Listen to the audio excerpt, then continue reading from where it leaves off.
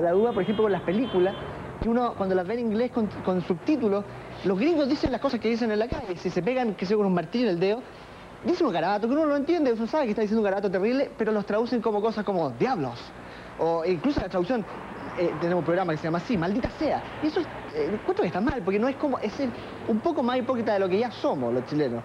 Pero hay palabras, por ejemplo, que se han ido metiendo un poco contrabando. Por ejemplo, ahora decir peo, uno dice peo, ya se puede decir poto incluso.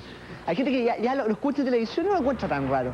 Incluso aquí en el programa se han dicho garabato, huevón. Son programas que, o sea, eh, eh, garabatos ya se han dicho, pero hay otros que están vedados. Y por eso da, tanta gracia cuando eh, la, como las cosas raras del, lenguaje nos permiten decir cosas. Por ejemplo, sale una estrella brasileña que se llama Chucha.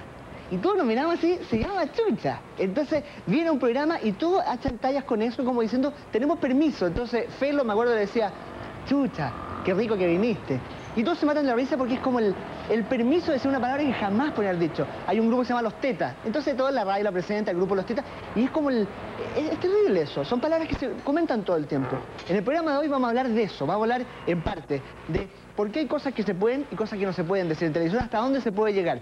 Vamos a conversar con Pilar Almadet, la presidenta del Consejo Nacional de Televisión, que seguramente tiene mucho que decir sobre esto. Seguramente ya, tal vez ya tengo una sanción a esta altura. El hecho es que va a estar muy bueno el programa. No se separen, que aquí comienza Plastital.